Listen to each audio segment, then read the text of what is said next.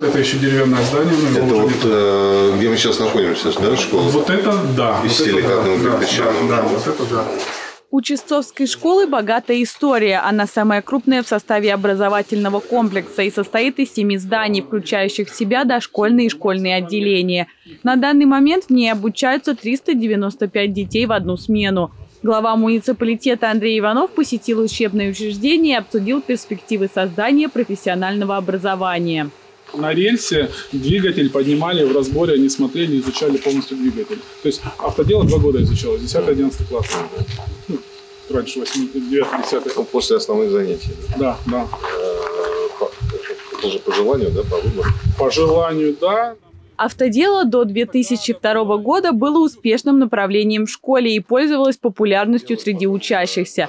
Ребята не только осваивали профессию водителя, но и могли получить права в госавтоинспекции.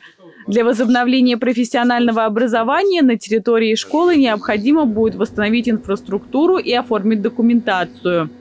Сейчас идет подготовительная работа, связанная с э, получением лицензии, санитарных паспортов. Э, вне- Внесены уже изменения в устав, поэтому работа по подготовке к профессиональному обучению идет. Екатерина Крамер, Олег Мещерский, телекомпания «Одинцова».